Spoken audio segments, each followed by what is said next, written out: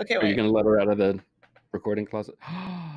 Look at Is it? A, it's ooh, folder. It's like an old Trapper is Keeper folder, and then oh my! They are running. they're Oh, be, be free, be free, Right? Run like the wind. Look at that. That's amazing. Isn't amazing. that amazing? I know I'm very excited. It's like the greatest moment of my life right here. Yeah. So you're just gonna keep that ruler on your desk and just move it so they're running. Mhm. So So I'm you're not gonna for be the day. getting any work done, are you? Nope. Nope. It's just all downhill from here. It's all horses. I, I feel like wildfires playing in the background. it's all they're running. Yeah. Patrick Swayze's shirtless riding one somehow. Yeah, well, yeah, Yeah. Of course. right.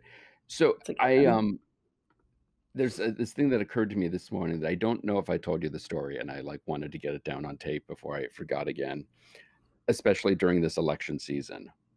Randy, do you want? You can come out of the closet if you want. You can come out and get back to the other stuff and go back Yeah. to listening to one side of the conversation because it's way more fun. So I feel like especially since uh we're so close to the election and there's this whole talk about um, voting and irregularities and such. So a friend of mine was making this documentary that uh, the subject of which doesn't matter, but they were down in Atlanta to interview uh, Jimmy Carter. And by the way, if you give him a piece of paper to sign, like as a release form, and he hmm asks, What's this for? And you hmm jokingly say, Oh, it's to give back your Nobel Prize, he doesn't think it's funny. Oh, well, I probably Yeah. wouldn't. Yeah. So, um, so after the shoot, uh, the crew retires to a local eatery to unwind, uh, and it's Hooters. Of course. Okay. Have I told you this story? No. Okay. And so um, I'm assuming because they're all from New York and have pretentious facial hair and probably rode like a bunch of penny farthings to the Hooters, the waitresses were like, "You're not from around here," and Oh, and so they start talking about what they're doing there and all of this. And one one of the waitresses says, "You know, you should do a a, a documentary about the elections in our county for the sheriff because there are all these voting irregularities on the uh, register. I don't think they use the words irregularities and register, but you get the point. yeah. Stop Uh, underestimating the Hooters girls. I know. I'm sorry. I apologize to all of our Hooters waitresses who are listening. I'm sorry, Hooters servers. Yes. Man, they got to be taking a bath with COVID, don't they? That's I got guess. But everybody needs wings. Well, yeah. And they are what? Delightfully tacky and something unrefined. I used to know their Mm, tagline. that, yeah, I do not, but would make sense that you familiar. It would. Um, have you been? I've never actually been to one. Oh, yeah. I've been to several. Are the wings good? They're pretty good. They are. Yeah. Because who was it who said like, "Oh, no one goes to Hooters for wings"? But if that's their thing, I mean, it's one of their things. So It's that's one of their things. I've yeah. always been like thoroughly grossed out. I mean, we need to go back to your story, but it's always No. really bothered me that hmm they had to wear those really thick, Mm, awful nylons and the white Reebok high tops under the shorts. It was, mm, it's just not fair. right. You think That's they? why at least when they did that like tilted kilt thing or whatever, at least they had like little kilts and it was a little, the outfits were nicer. mm, that's interesting. Yeah, I guess they all have to Like if that, I want to be objectified serving hmm wings, at least let me feel adorable. Mm, that's a good point. A very, very good point. Although I guess is it more flattering if you don't look adorable and people are still drooling over you? Then you know, like even in this awful tacky outfit, Right. I'm still gorgeous. So I guess that is a good way Mm. to go. But I think all of them, and and we can get back to the story in a second. I think all of them maybe are, are beautiful on the inside.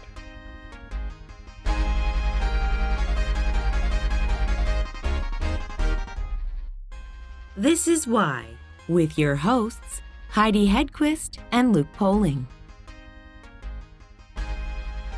So one of the waitresses says there are all these irregularities on the voting roll, and she said, like for example, over on you know Main Street, one of the uh, people who voted is, is this tree that's on Main Street, and the other waitress is, and there's not even a tree on Main Street.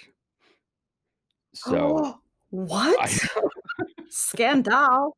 I know that was that's the story. I just love I love it. It's not Well, my did they story to tell. investigate it further? They did not. Um, and it's not my story to tell. I was not there, but there's no way he's listening to this. So you know what? We got to fill up some time. that. Well, Uh, I think I do. Trust me on this one.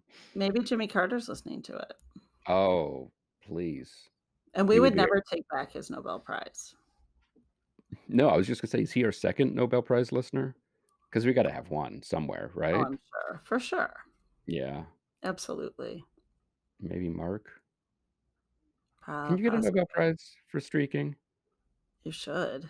Yeah, like a Peace If Prize. we if we had our own version of the Nobel Mm, Prizes, yeah, streaking probably less. category. Yeah, probably less prestigious than the real ones. I don't know. I think Mm. it could be cool.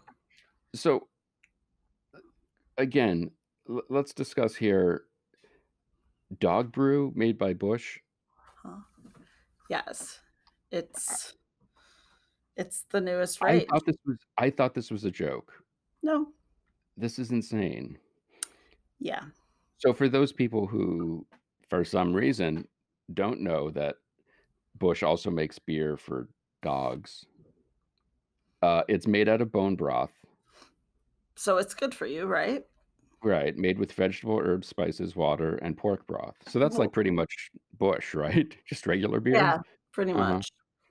Uh, to provide your buddy, best buddy, best buddy, with a nutritious and tasty snack that helps promote a di- healthy digestive system. Well, this sounds like something we should be getting for Captain. We should be getting it for Captain. If he's feel like having a little, you know, yeah. if he's But see, having, if he's got the. COVID 19.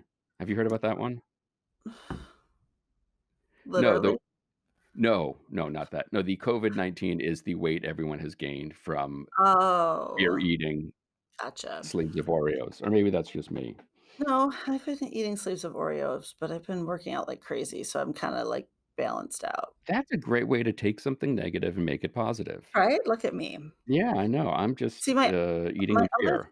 Well, you know, but yeah. the other thing that's great about this beer hmm is yes, it would be lovely to get it for Captain. We'll see if he's what kind of sea captain he is, right? Is he Mm. a, you know, saucy lad or what? But it's also fantastic because the branding is just normal enough hmm you so could just have it in the fridge and wait to see which friend takes it out of the fridge. And that to me is worth all the pork butt in the beer. That's tr- that's true.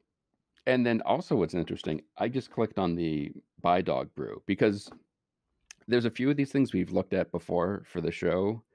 Mhm, There's a, uh, I think I sent it to you, the dog ketchup or the dog mayo mhm, that you can mhm. put on. That sounds disgusting, but they're completely sold out of everything. So See? people, someone's buying it. So I thought, like, oh, let's see if anyone has bought the uh, dog brew by Busch. You click on the button to buy the brew. First thing you have to do, they check your ID. Right. Are you of age to be buying beer for your dog?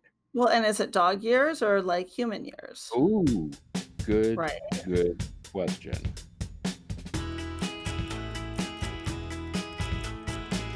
Just a quick note about this week's interview. We recorded our conversation with Collette several weeks ago and prior to the recent events in Kenosha and Portland, and so that is why they don't come up during our conversation. This is likely a stupid question, but how often do guys try to quiz you on your football knowledge? guys try to quiz me all the time. And I think in the beginning, I would answer all their questions about, you know, uh, five four defenses, three four defenses versus uh, a four three, and then I started thinking like, wait a minute, these guys are not asking the men on the panel the same Right. questions they're asking Right. me. So then I started to become into my own, and I was like, you know what? My response to a reporter or someone interview me or asking me a question would turn to, before, now mind you, I would answer the question because I love football, right? Right. right. I'm all about it. But then I started surmising and I was cognizant of the fact that they're not asking the men the same questions they're asking me. So then I started stopping. I started stopping all this rhetoric. And I was like, you know what? I'll answer that question if it's a question for everybody on the panel.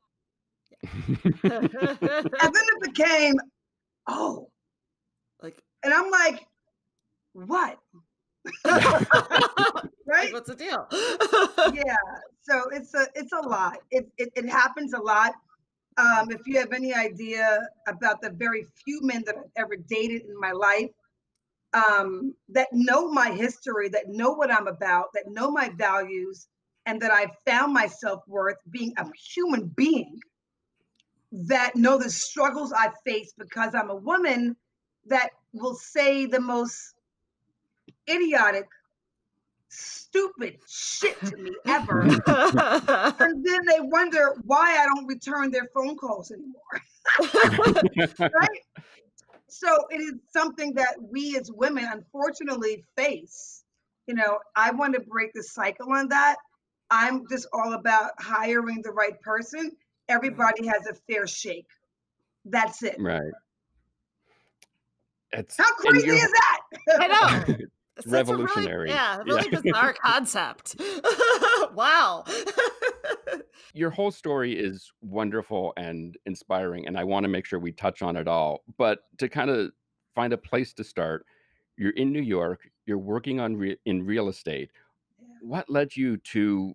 I don't want to say think you could try out for the New York Sharks, but to just say, yeah, I'm going to go do this. You know, that's a that is such a loaded question that is so profound and so simplistic at the exact same moment. Um, I was a kid, right? We all were children at some point, and we all gravitated towards certain sports or games. And for me, I just loved football the way in my and, and my silly me, just because I just like that sport, I want to play it. So because back in those in that era. I'm 51 years old. So imagine, you know, 40 years ago how it was. It's still bad today. Mm-hmm. Um, however, back then it was a lot worse for women, for girls.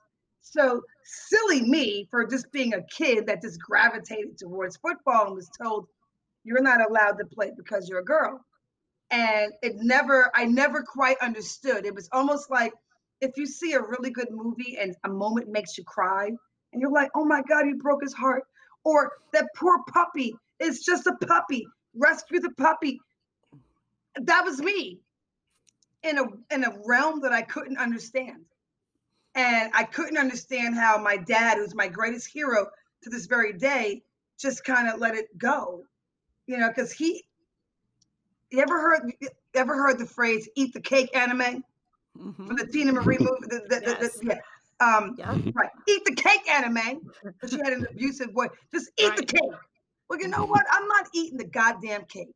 Yep. If I want cake, I'll cut a piece. If, that, if, that, fact, if I want a piece of cake, I'll bake a goddamn cake. right? Yes. And I'll let you have some. right. I'll share.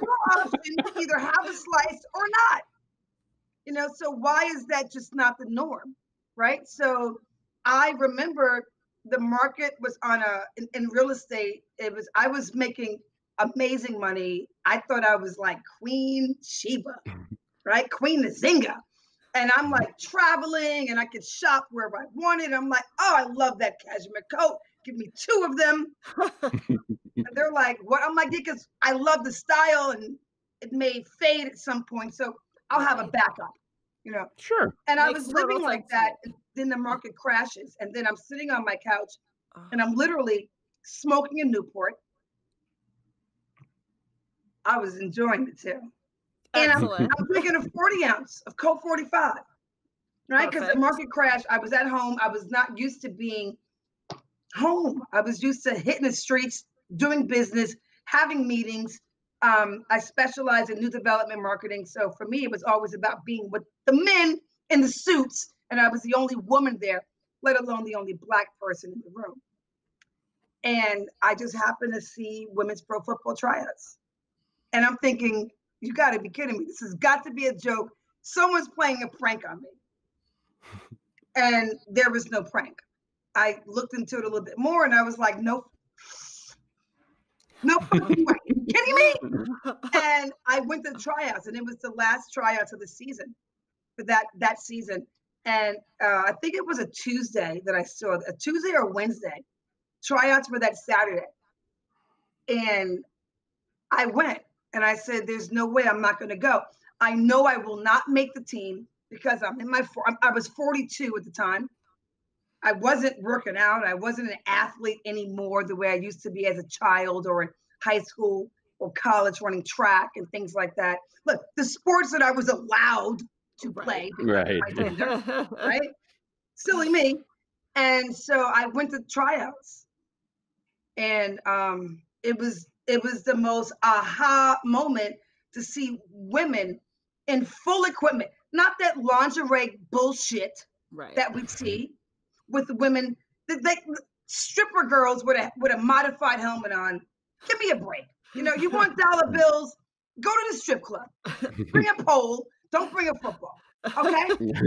it's a different so party. I couldn't believe that when I saw these women out there and full equipment, real equipment, and coaches yelling at them, and the team camaraderie and the unity and the and the sisterhood, which sounds so crazy because normally when you say football, it's brotherhood.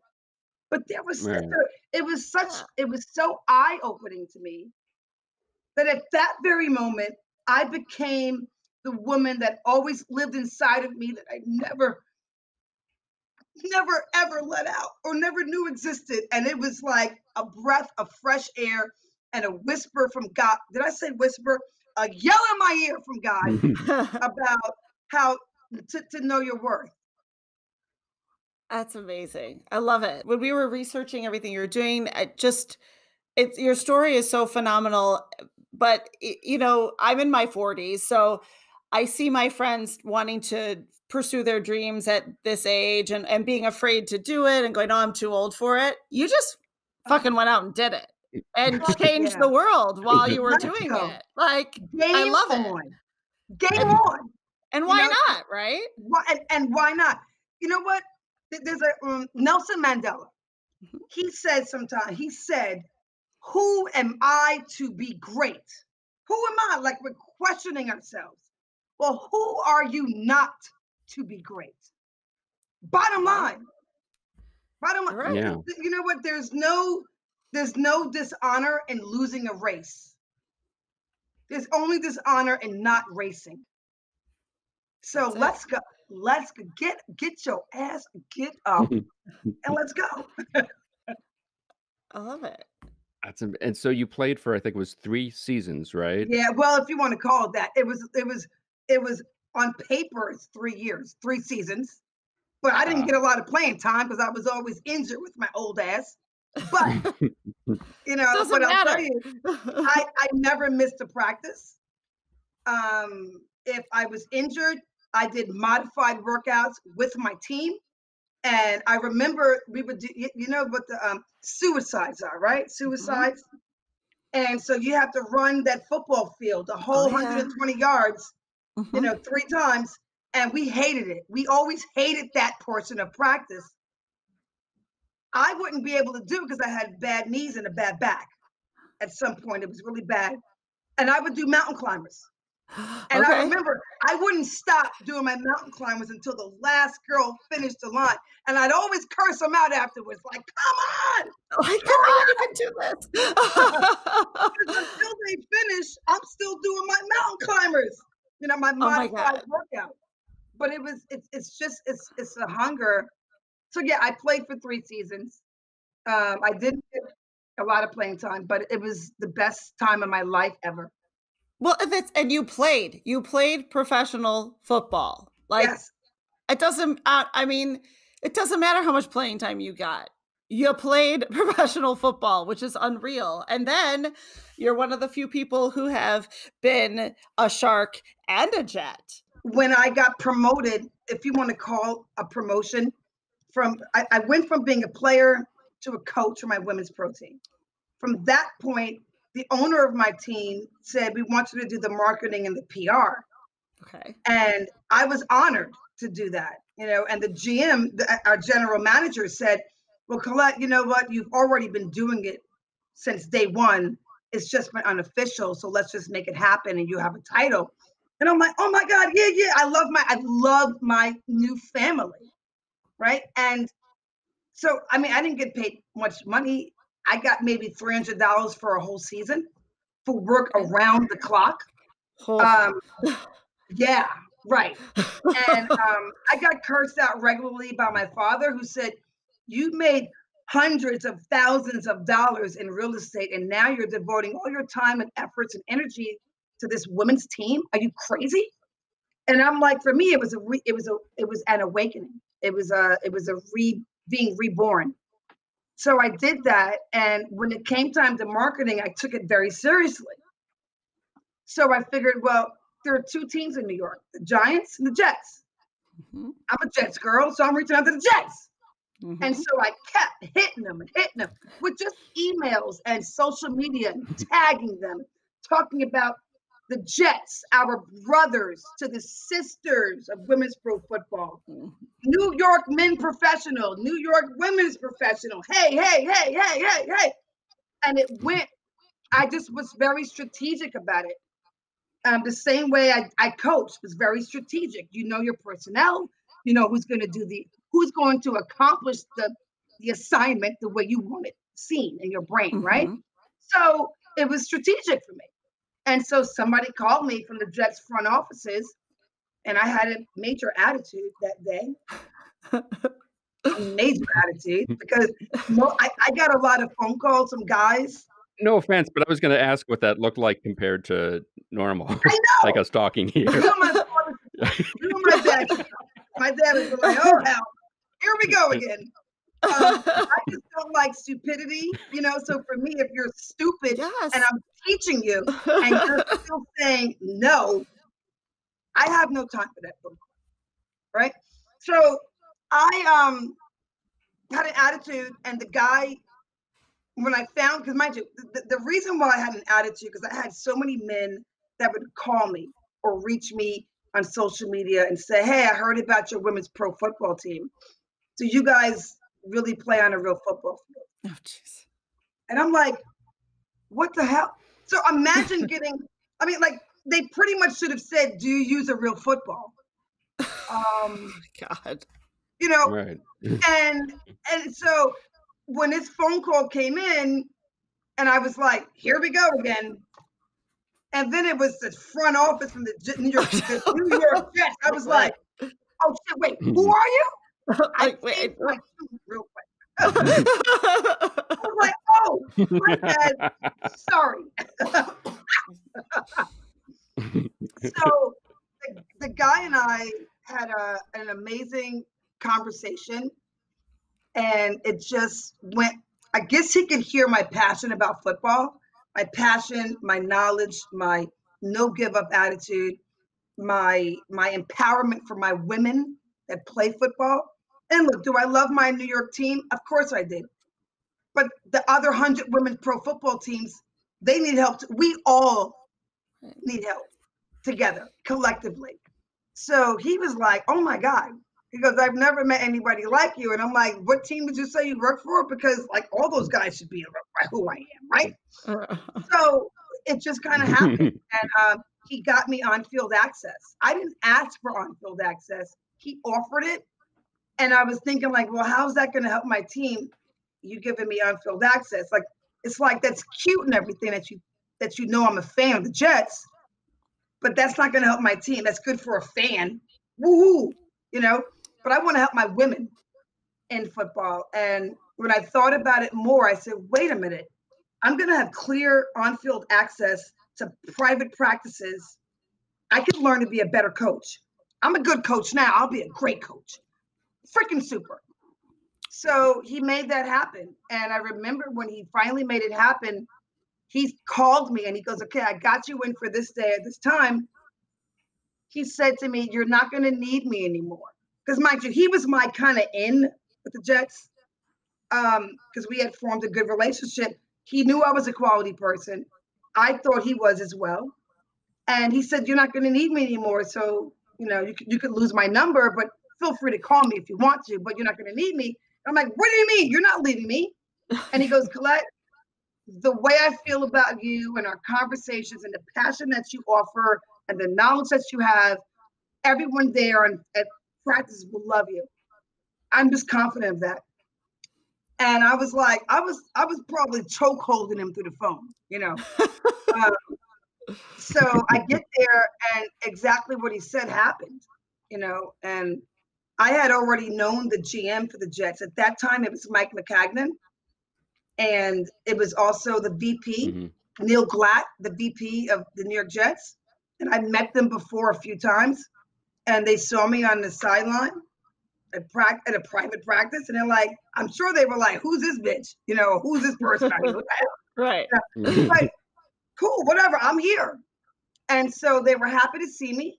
And coach, the then head coach Todd Bowles, who is one of my favorite people in the whole world, just a good, a quality man, just a good guy. You want him as a best friend or your husband or your neighbor or just like you want him in your life. He's a great person, human being he saw his bosses, I guess, talking to me like we were cool. So he wants to know who the hell I am. And we started talking, and um, it just happened from there. I mean, it took about almost a year. Um, I believe I was being interviewed within every time I came out to practice because he gave me full uh, on-field access whenever I wanted to. All I had to do was text the head coach and say, "Hey, can I come out tomorrow? I'm available this day. And he would say, Of course. And if I didn't come out often enough, he would give me a text. Hey, the guys are asking about you. When you coming back out? And I'm like, I'm kind of busy right now, but I'll be out so and so days. Is that all right? And so it just kind of it was very organic. You know, and I think that that is what a lot of our teams need. Do we need great coaches? Yes. Do we need a back a, a great back system and administration? Of course but do we need chemistry and love and true compassion for the sport? Yes. And I believe that was an element that I brought coupled with the knowledge that I had. So it was pretty seamless. And I loved it. It's hard to miss your passion for the game and the game well played. When you first went out there, sort of as a coach, did you realize the position you were in? There's been a couple no. women coaches, but you're the first African American no. woman coach. No, I did not. So it was only after the fact. After the fact, yes. I went there. I remember packing up my bag. I called up a neighbor and said, "Hey, feed my cat." He Charlie. My cat's name is Charlie. He's such an asshole too. Um, As all good cats are. right. And I'm like, I found somebody to take care of my cat.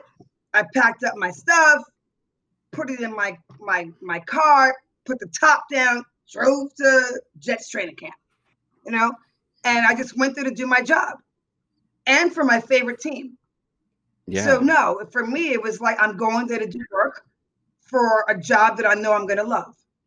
And that's all it was. And it wasn't until I got there that I was like, as soon as I pulled up at the gate, security was like, "Oh yeah, hey," and I was like, I'm looking behind me like, what, what? You know, because I mean, I want one day for that not to be a big parade. I mean, do we mm-hmm. want a parade for ourselves? Okay, yes, give me a parade. But when it comes to the totality about women in positions that are usually unorthodox, right? I don't want a parade for that. I want it to be commonplace. So I didn't realize it until time went in. I really didn't. It was just I was going there to do my job. I have written down this question that I think I, I know the answer to, but I'm going to ask it anyway. What kind of coach are you? Are you sort of the stoic kind, pacing the sidelines? Or are you the one throwing things and screaming at people who mess up? When you say throwing things, like throwing things like what? uh, you know, your clipboard, your, you know, whatever. If someone just can't execute what you're asking them to do. I think I'm both of those coaches. It depends on the it depends on the moment. It depends on the player or what I call the personnel. Right. Um, if I've told you a few times or not. The first time, I'm not going to say that. I'm not going to. I'm not going to grab your face, Max, and pull you down and be like, "What the hell did I just say?" right? I won't do that probably till three times in. You know, the first time is like, "Come on, we went through this. What's the problem?" Right? So I'm more of let's get to the problem. Let's get to the root of why you're not able to execute. Right?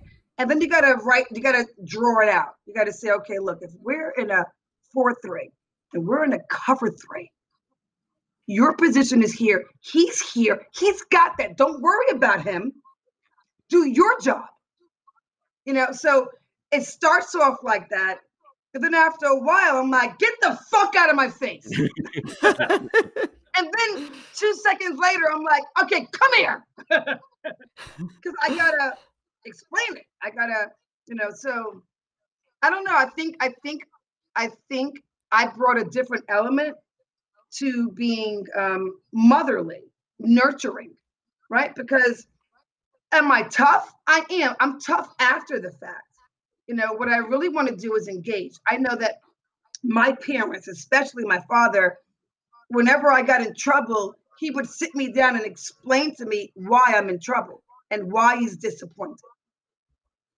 And that was more effective than him beat me with a belt, Yeah. locking me in my bedroom with no TV. For him to say, I'm disappointed because we told you X, Y, and Z. Here's what you did. It doesn't add up to what we asked you to do, but you did it anyway. So I think I bring that aspect of, I don't know, I think I, I want to say a family, a family affair, a, a nurturing time. Like I don't want to beat anybody up until I really need to beat your ass up. And then watch out. The time comes. yeah. Right. But then I feel like the super like silent treatment is the ultimate you've pissed me off. Like when we've gone beyond the yelling, then when it's like pure silence, that's the really terrifying one. Oh yeah, well, If you I ever had, get a, to I that had a point. that was silent to me, and it was it was horrible. Where it was almost it took a twisted turn, where it, it didn't do anything positive. I think it Right. was so hurtful and so demeaning that it crushed a part of your spirit. So I said, I never want to be a coach like that. I mean, I could yell at you, and after I told you three times, and you keep doing it, and when I say, you know what, get on my face. But then 30 seconds later, I'm like, okay, come here, come here. I can't, like, I can't be that person. You know, I want to figure out what the root, the root, the R O O T, the root of the problem is, and let's rectify it. Let's fix it. Yeah. 'Cause, you know, these guys would not be there unless they were exceptional players. Everybody's Right. got strengths and weaknesses. I want to build up your weaknesses. I want to key in and get you uh, get your strengths better. So, but I also want you not to forget about the love of the game. You know, I want that passion. When you first played football, the same way I remember playing football. I want you to feel that that joy, that sheer love of the game. You know, it's I mean, look, I get it. It's a dollars and cents thing. It's a business. It's an operation. But we're playing this game because we initially from step A, we loved it. your whole story is so amazing and and when you read the whole thing and everything you've overcome and the fact that you sort of found these windows of i'm going to make the most of this opportunity and i'm going to take this and i'm going to do everything i can within my power to make the best of this situation and capitalize on it. You know when when you look and see that oh you're also doing motivational speaking it seems like a no-brainer because of your, your ability to say like yeah this has been hard. This has not been a cakewalk but i'm going to make the best of my opportunities that are presented to me I'm not finished. Like I'm not finished. Like I life is still hard um for a lot of people, but I can just say for a black girl and now a black woman, I discovered who I am And that is very helpful, is very beneficial to me. And I want to feed other people. I got fed some great lessons through football. And I'm like, oh my gosh, why is this a secret? We should all be having right? So I bring yeah. that to you know marginalized communities, and it's just you know when you walk into a school where all the kids are black, you know their clothes are tethered, the teachers may not be the greatest because they're just it's for in their brains they're correction officers just passing the time. And when you see that, it breaks your heart. But when they, when the principal announces who I am, we have Collette V. Smith, the NFL's first African American female coach in the history of the National Football League, and the first female coach for the New York Jets franchise, and a former women's pro full Tiger football player. The kids are like, wait, what? And they're whispering like, oh hell no. oh, hell no. And I love it. And I love it. Let's go. And I go up there and I may wear some high heels and a sexy Gucci dress. The minute I open up my mouth, let's go. Because if you're doubting me, I know you're doubting yourself. I know you're doubting your sister and your mama. Why are we doing this? Don't you see your greatness? Have we looked for it? Where is it? Everyone reach in your pocket, pull out your greatness, right? So it is like, it is eye opening. And I think it's very cathartic for me because I'm not done. My healing is not done. You know, I'm a five time rape survivor, I'm a three time suicide survivor. At least the times that I was hospitalized for it. I've thought about it numerous times. And then football came into my world. And then I am wearing a superhero cape, right? So it's like, wait a minute, I can't leap that building? Says who? I'm going to train for it. So it is it is a process for me still to this very day. And I think that we all go through processes. I just want I just want a level playing field for all people. For all people. For all people. And look, is it great if your mom and your dad have these amazing careers and they're making great money and you have a home with a backyard and your own bedroom and your own stuff great but for all the children and there's so many more that don't have i want them to know their worth i want them to know that they're valuable i want them to know you can push the envelope if you believe in yourself and that's why my company is called Believe in You Incorporated. So for me, it I'm not just helping them, I'm on a continuous journey of self-healing. You know, I may have a great day one day and the next day I'm like, what am I doing? What is it? I think it's called the imposter syndrome or something like that. Mm-hmm. And I'm mm-hmm. like, I have I tell myself, oh bitch, please stop. You ain't shit. Okay, whatever. You coached that one year, whatever. That's over now. Stop. And then I'm like, no, but who can say that? Well, hell, I can. And I'm going to use it. So it's an up and down battle, you know, and I think that a lot of people need that, including myself to this very day. Well, I think that's huge. I think that so much that comes from what you're providing to others and how it comes back to you that that whole cycle because I also think it continues to preach how real it is and how real these battles are because i see people all the time who are motivational speakers that sure they'll tell you about the struggle at the beginning but then all of a sudden no i made all this money and oh, everything's oh, amazing now. I got an island. Right? It's like no it it never ends and you've reinvented yourself and done these things over and over and survived all this stuff like that's what kids and adults and people need to see is that you do keep mustering that strength and killing those barriers and it doesn't matter how young how old you are all those things and that sets you apart i think. It doesn't matter right and, and and every day is a struggle right every day is a struggle. Yesterday might have been a great day the next day i may be crying hugging my asshole cat that I love to pieces named Charlie. yeah. And he's I'm like, you're gonna love me, I don't care. yes, fourth love. You know I mean? It's like every day is a struggle and it's a learning experience that you grow from. And when I come through it the next day, I'm very proud.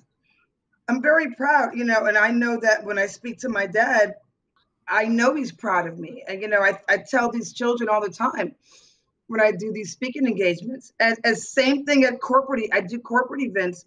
And I tell them, do you, let's go back to time. Let's go back in time and, you know, let's talk about that time you had a really good grade and you couldn't wait to get home to tell your mom and dad that's good grade, to show them that A circled in red, A.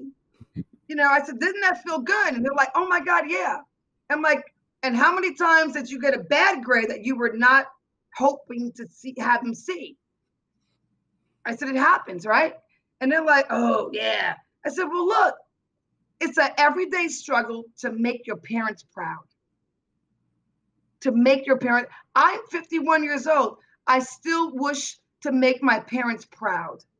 Well, I know I don't want to take up all your time, uh, but this is this has been wonderful. I don't know, sort of, uh, yeah, I don't know. I, I want to go run laps and, uh, yeah, that, that inspiration. Wanna, you can just feel it. Like you can feel it through the, our listeners will be freaking out in a good way because you can feel your energy and everything exudes from you, even through the airwaves.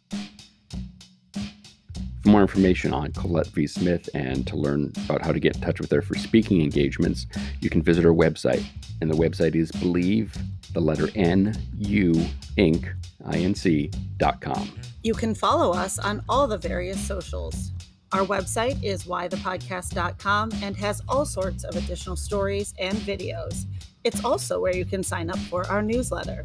We're also on YouTube if you're into that kind of thing. And don't forget to leave us a review on iTunes. Because if you don't, we'll call your mother and tell her that she's completely right. You would look so much prettier if you smiled more. Why the Podcast is part of Mudhouse Media. Today's show was produced by myself and Heidi Hegquist. Our reluctant executive producers are John Sove and Sandy Stone. Our willing executive producers are Rachel Allen and Randy Jeanette. Our graphic designer is Samantha Mustonen. The theme song was performed by the Electrosynth O Magnetic Polyphonic Orchestra this one's for Philippe. Thanks for joining us. Flash, we're coming home. Nigel, is that you? Are you here, Nigel?